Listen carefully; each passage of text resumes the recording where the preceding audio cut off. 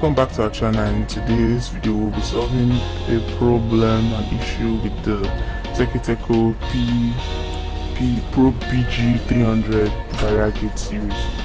So let me show you the issue we encountered while we were trying to test run this for a client. So once we were test running it we found out that it wasn't like closing till the end.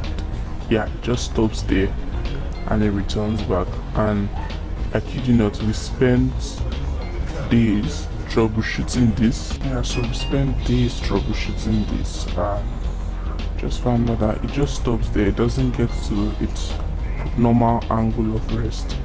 So after we even thought it was a factory error at a point but it wasn't until um hours of troubleshooting that we discovered what the problem was and what the solution was and we're going to show you that in this video.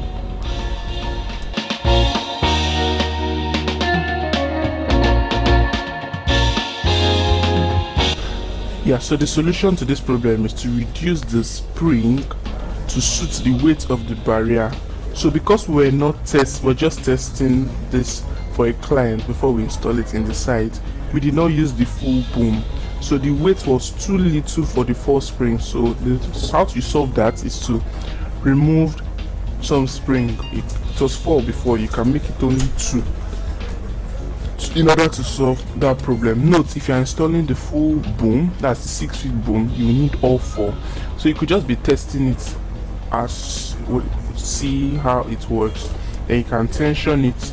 That could be another solution tension the spring in order to suit the weight.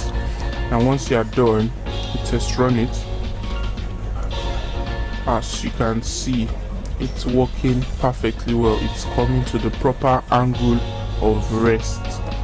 So yeah that's basically um it's all about this problem and the solution to it. If you have any questions about this barrier gate or anything at all do leave it in the comment section and don't forget to like subscribe and share this video. We have lots of more content like this coming up. That's all for now. Bye and see you in the next one. Peace